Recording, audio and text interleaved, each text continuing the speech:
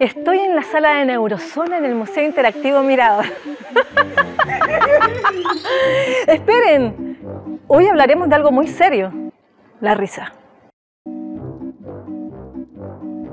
Una de las epidemias más insólitas de la historia se dio en Kagera, una región de Tanzania, un día martes 30 de enero de 1962.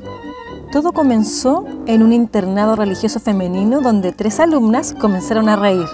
Rápidamente la risa se extendió por las salas cercanas y no tardaron en propagarse por todo el colegio.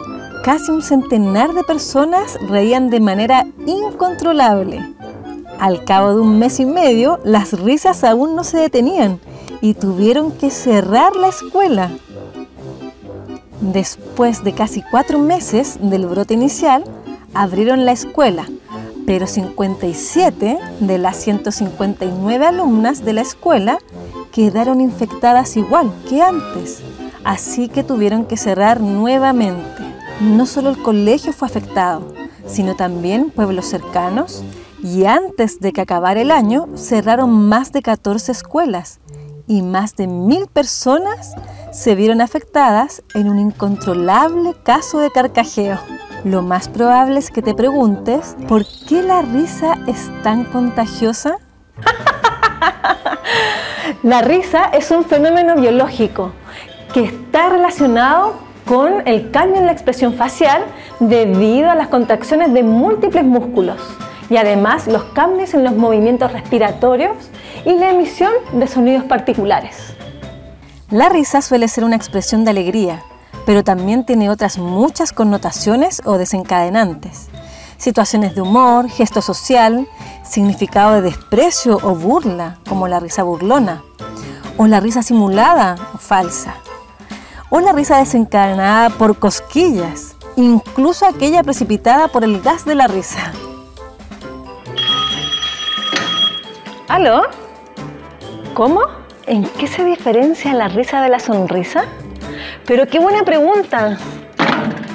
De hecho, la sonrisa es un esbozo de la risa, en donde no intervienen los músculos respiratorios ni las vocalizaciones. De hecho, hay indicios en que los seres humanos a las cinco semanas de vida extrauterina ya pueden esbozar una sonrisa. Ahora, si quieres escuchar el dulce sonido de una risa de un bebé, tienes que esperar por lo menos cuatro meses. Aunque aquí hay alguien que no quiere sonreír. La risa no es un patrimonio exclusivamente de los homínidos.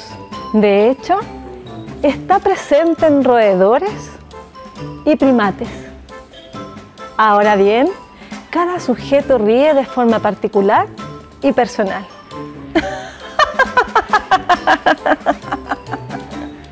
No, no, no, esperen, no te vayas. El sentido del humor es exclusivamente humano. Está vinculado con la risa, eso sí, pero es difícil de definir y concretar. Ahora bien, relacionado también con las épocas culturales y sociales donde estamos inmersos, pero lo más importante, está relacionado con el carácter de cada persona. En realidad sí somos un complejo red de neuronas. Ahora bien, los especialistas dicen que hay un vínculo de percepción-conducta. ¿Qué significa eso? Significa que podemos nosotros representar, codificar el comportamiento de otros y luego podemos dar una respuesta adecuada. Eso se conoce como neuronas espejo. Las neuronas espejo son neuronas motoras capaces de activar regiones cerebrales cuando realizamos una acción, pero también cuando vemos a otros realizarla. ¿Por qué ocurre esto?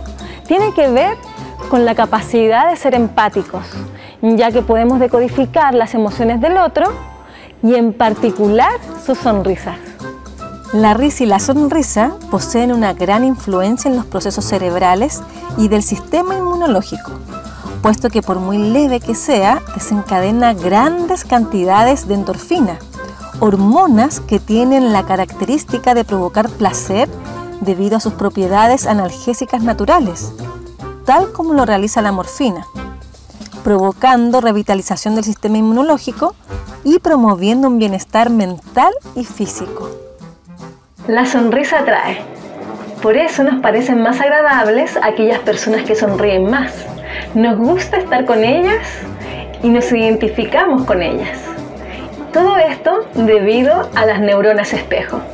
Los especialistas hablan incluso de engañar a nuestro cerebro cuando estamos de mal humor. ¿Y cómo? Muy fácil. Debes reírte a la fuerza para cambiar esa percepción.